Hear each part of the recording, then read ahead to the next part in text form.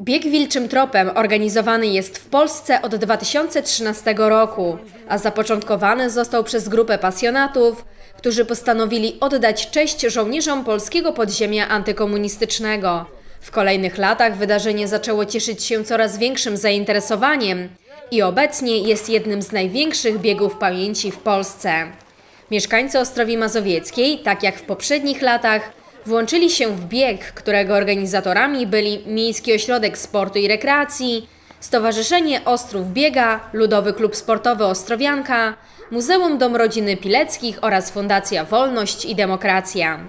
W tym roku miała miejsce szósta edycja tego wydarzenia. Była wyjątkowa, ponieważ odbyła się w setną rocznicę odzyskania przez Polskę niepodległości.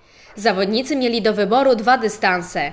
Pierwszy symboliczny wynosił 1963 metry, co odwołuje się do roku, w którym zginął ostatni z żołnierzy wyklętych, Józef Franczak pseudonim Lalek. I drugi bieg właściwy, który wynosił 5 kilometrów. 4 marca chętnych, którzy pragnęli uczcić pamięć bohaterów drugiej konspiracji, nie zabrakło. Mimo wcześniejszych mrozów pogoda dopisała, dodatkowo na niebie pojawiło się słońce. Bieg miał swój start przy pomniku żołnierzy wyklętych, a meta znajdowała się obok Mosiru przy ulicy Trębickiego. W biegu symbolicznym udział wzięło około 70 Ostrowian, a wśród nich znaleźli się m.in. podopieczni Środowiskowego Domu Samopomocy. Nie liczyło się to, kto pierwszy będzie na mecie, lecz sam fakt wzięcia udziału w tak wyjątkowym wydarzeniu. Jesteśmy z Was dumni. Zawsze jesteście z nami, dajecie wszystko. Z dłuższym, 5-kilometrowym dystansem zmierzyło się 59 zawodników, w tym 13 kobiet i 46 mężczyzn.